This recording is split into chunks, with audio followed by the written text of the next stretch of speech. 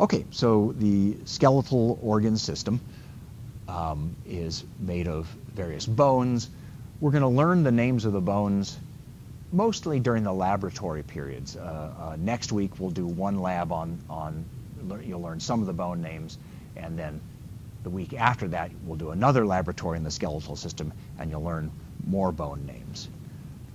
Uh, but just to mention a couple bones right now. So this is your thigh bone. Its official name is your femur. Uh, this bone right here is the bone of your arm. It's your humerus.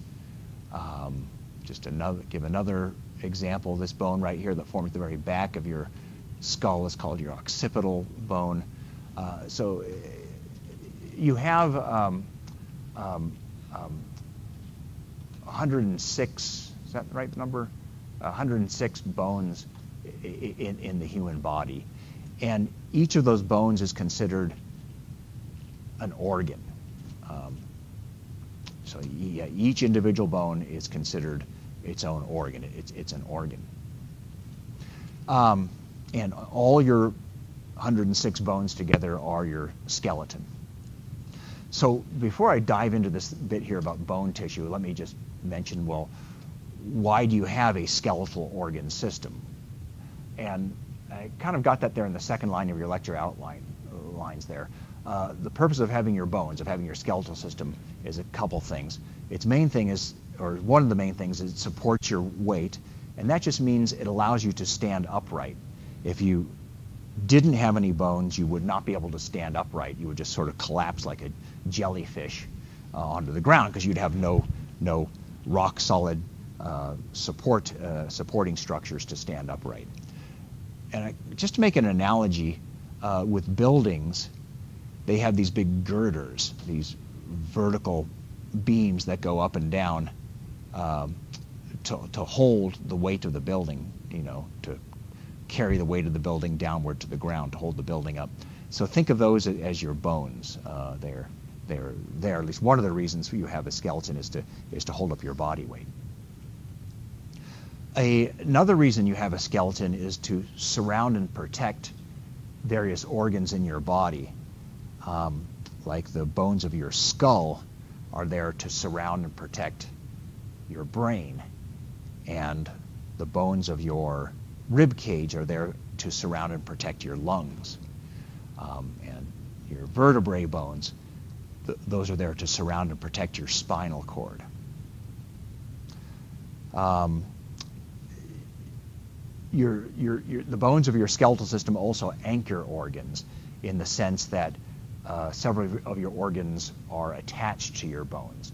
Uh, a good example is muscles. I don't have a slide right there. Uh, I don't show it on the slide right there, but your skeletal muscle organs like your bicep and your tricep are attached to your, uh, uh, to your bones. Good. So supporting your weight, surrounding and protecting organs, um, and, and, anchoring organs are three of the main functions of your, of your skeletal organ system. Okay, uh, so yeah, each bone is its own organ, like your femur is an organ and your tibia is an organ, and each of your tarsal, your ankle bones, is an organ. Um, all organs are made out of more than one tissue. That's just part of the definition of an organ the main tissue of each bone organ is called bone tissue. I guess that almost seems true by definition. This is what you'd expect, right? Bone tissue is the major tissue of bone organs. But what I'm pointing out here is that you do find other types of tissue in bone organs. Uh, as we'll talk about here in, in, a, in a moment, you also find some dense connective tissue that's part of bone organs. And you also find some cartilage that's part of bone organs. But the main tissue that bone organs are built out of is, is bone tissue. Uh, so let me do, talk a little bit about bone tissue. Uh, we, we actually just finished talking about it. It's one of the six connective tissue types. And if you remember our lecture on, on bone tissue, uh, we said it was a, a, a rock-like connective tissue. I think I said mineralized, but that just means rock-like tissue. Um, here we go. So this is a well, an artist's depiction of what bone tissue looks like.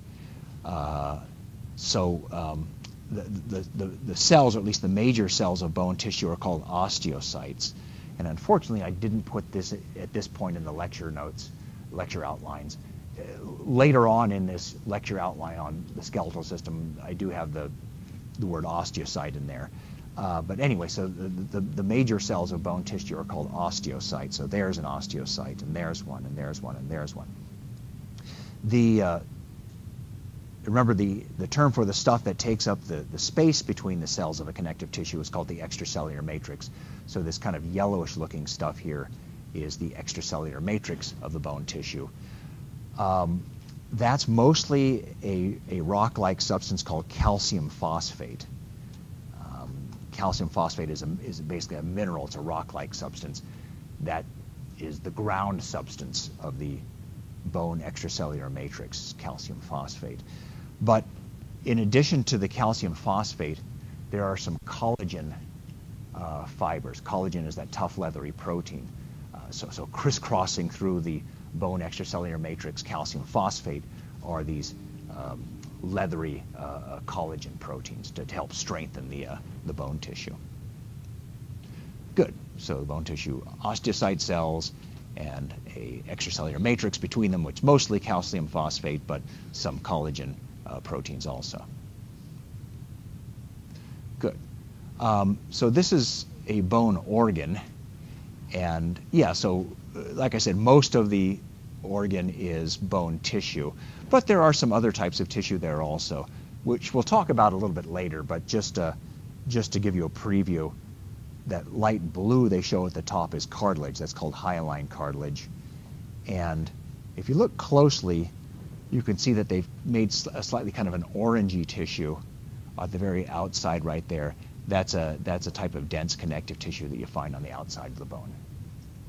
But anyway, most of the bone is organ is, is bone tissue.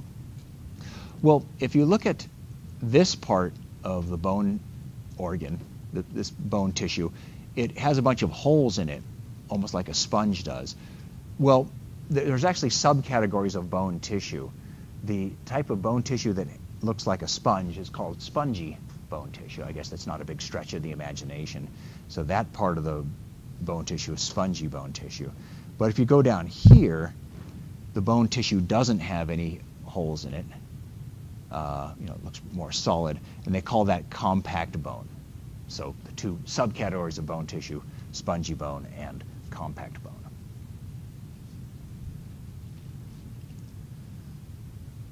All right. Um, let's see.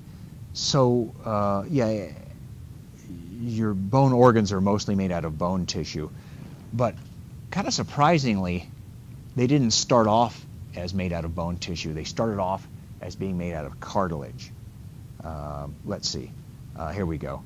Uh, so, you know, before we were born, we were growing inside our mother's uterus, inside our mother's womb. And at the very beginning, we were an embryo, just a, a tiny little developing baby, an embryo. And then as the embryo grows, still inside the, the it's still inside the uterus, um, after a few weeks, we no longer call it an embryo, we call it a fetus. And then the fetus continues to grow, and then it's eventually born, and it's a newborn baby. Um, so when we were embryos, we did have a skeleton, but it was not made out of bone tissue. In other words, when you were an embryo, you had a femur and a humerus and an occipital bone and all the other bones. You had all of those, but they were not made out of bone tissue. They were made out of cartilage, and cartilage is a, is a soft, uh, rubbery connective tissue. Well, as you developed inside the womb, inside the uterus, slowly that those cartilage bones became encased in actual bone tissue, actual hard bone tissue. And that's what they're trying to show here. It, the blue is the cartilage. And so you see this little cartilage embryonic bone. But you can see already it's starting to be encased in um, bone tissue, what they're showing in yellow. And so as you continue to develop, you know, as you, as you um, uh, developed from an embryo to a fetus inside the uterus, more and more of the original cartilage bone is getting encased in bone tissue, surrounded by bone tissue. And by the time you're a newborn baby, almost all of the original um, cartilage bone has been surrounded and encased in actual bone tissue. So that's kind of how your skeleton develops. As an embryo, it's your bone, your skeleton is made out of cartilage, and then it gets encased and essentially turned into um, uh, bone. Well, that process of covering the embryo's cartilage skeleton with actual bone tissue is called ossification. Uh, os means bone, so it just means turning it, turning it into bone or surrounding it by bone is ossification. And there's some specialized bone cells that do that. They're called osteoblasts, the, the bone cells that specialize in, in converting cartilage into bone or covering cartilage with bone are osteoblasts. Alrighty, um, well, so as the original cartilage bone gets surrounded by and covered with bone tissue, the cartilage eventually kind of dies away and it leaves a hollow space inside the center of the bone, and we call that hollow space the medullary cavity. And so it's kind of neat if you were to look inside one of your bones now as a person who's, you know, an adult and been born, you know, 17 or 20 years ago, however old you are, um, if you look inside your bones, you can still see the, the hollow space where that original, your original embryonic bone used to be, and we call that hollow space the medullary cavity. You can see it. Uh, you can see it right here, and maybe a bit of that medullary cavity even in the fetal stage right there.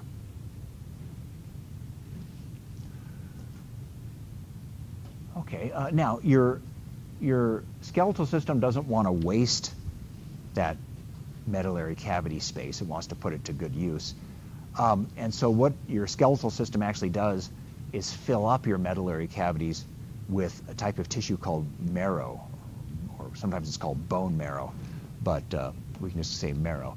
So here's the medullary cavity inside this bone right there, uh, but it's actually filled with marrow. That, that sort of yellowish looking stuff they're showing there is the, is the marrow that fills uh, this medullary cavity. Uh, there's actually two types of marrow. One is called yellow marrow, which is what they're showing there, and the other is called red marrow. The yellow marrow, marrow is adipose tissue. Uh, so it sounds maybe a little weird, but um, inside your bones, or at least inside some of your bones, you find some fat tissue, the yellow marrow in the, in, in the medullary cavity. With other bones, you have a different type of marrow called red marrow, which is red colored. And um, the red marrow is actually a, the manufacturing center for your blood cells. Um, all of your blood cells are created inside uh, the red marrow of your bones. Oh, let me give you a quick review question. Um, when we were talking about the blood a few minutes ago, I said that there's an actual phrase that means the blood cells. Does anybody recall what that is? blood cells. We call the three blood cells, they are the formed elements, yes. So what a, if I was using proper anatomical terminology here, I would have said the red marrow is the tissue that, that forms the formed elements, the blood cells. Okay, good. So uh, the marrow is the tissue inside the medullary cavities, the hollow space in the middle of the bone, and you have yellow marrow or red marrow, which is adipose tissue, and the red marrow is um, basically blood cell manufacturing tissue. Um, there's an interesting kind of developmental thing that relates to the two types of marrow. When you're a newborn baby and a young person, all of your marrow is red marrow. But the older you get, more and more of that red marrow becomes replaced with yellow marrow. Uh, so you're, you're, you're, over the course of your lifetime, your red marrow slowly gets converted into yellow marrow. You always have some red marrow, no matter how old you are. But it's also true that the older you get, the less red marrow you have and the more yellow marrow you have. And I think what's going on there, that as a young growing person, you just need more blood cells to be manufactured than an older person. And so As a young person, all of your marrow is, is red marrow.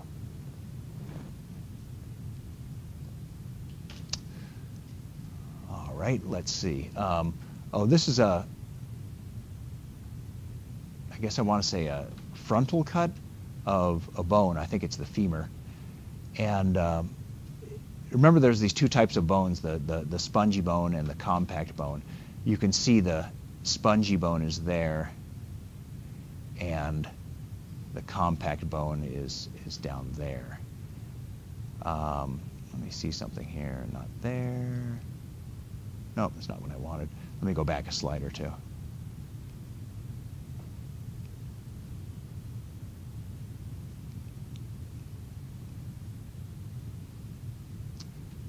Uh, here we go. Okay. Um, so bones come in many different shapes. Um, some bones are kind of flat, like a piece of a jigsaw puzzle. Other bones are kind of round or cube shaped, almost like a, a, a dice. Uh, other bones have this shape right here, uh, which is called a long bone shape. So any bone that looks like this is, is you say the shape of that bone is, is a long bone, or you say it is a long bone. And so notice the basic shape we're talking about. A long bone has a long shaft, like a tubular area like that, but at its ends it sort of gets wider and sort of some like a knob-like structures here at, at, each end. Well, there's some terms for that. The, the shaft of the long bone, the, the central part, is called the diaphysis, and each of the rounded kind of knobby ends is called an epiphysis. So there's an epiphysis, there's the diaphysis, and there's the other epiphysis. Um, you find these long bones generally in your, your limbs, in your arms and legs. And you might remember from our lecture on anatomy terms, we use distal and proximal to talk about relative positions on, on the limbs distal means further away from your trunk, and proximal means closer to, to your trunk. So, again, thinking of these long bones as being part of your arms or legs, the epiphysis that's closer to your trunk is called the proximal epiphysis, and the epiphysis that's further away from your trunk is called the distal epiphysis. Good. So each long bone has one diaphysis and two epiphyses. Um, the epiphysis is mostly spongy bone. That's the one that looks like a sponge with all the little holes in it. You can see here they kind of did a cutaway, so you can see this, that it's the epiphysis is spongy bone. But the diaphysis is compact bone, and you can see that uh, in there like that. All right, uh, what else? The diaphysis has uh, a layer of dense connective tissue protecting the outside of it. That thin sort of orangish layer that they put there on each side of the diaphysis is the, uh, the dense connective tissue that protects the bone. That's called the, the, the, the, the peri, uh, periosteum, is the, uh, is the dense connective tissue on the outside of the bone. Um, boy, I didn't add what you find on the outside of the epiphysis, but maybe I should. Um, that's the, the hyaline cartilage. The, uh, notice this blue covering right here on this epiphysis and this blue covering right there on that epiphysis. That's the, the hyaline cartilage, which remembers that rubbery tissue to protect the tips of the bone uh, in joints. Okay, well, let me just pause for a second to review something I mentioned uh, a few minutes ago. So each bone is considered an organ, like this long bone is an organ. And organs are made out of several tissues. The main tissue of any bone is bone tissue, but you do find other tissues. You also find hyaline cartilage and um, dense connective tissue as, as part of the bone.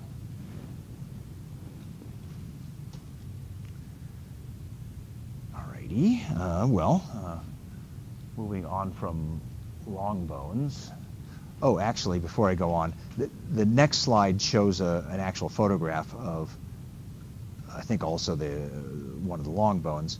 Yeah, I guess I showed this a moment ago. You can clearly see that in the epiphysis, it's spongy bone, but when you go down into the diaphysis, it's no longer spongy. It's now the compact bone. And that looks like it's part of the medullary cavity.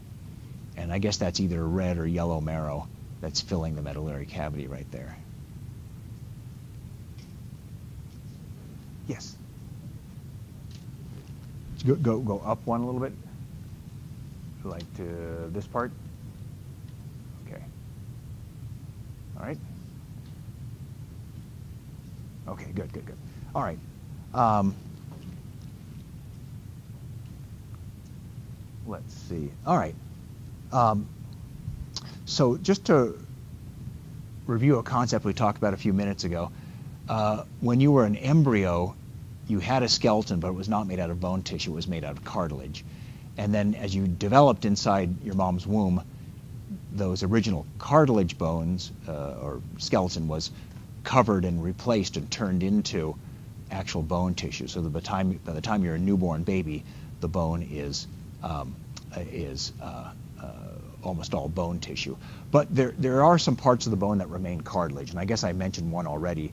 Um, the hyaline cartilage at the tips of the epiphysis is, is remains cartilage.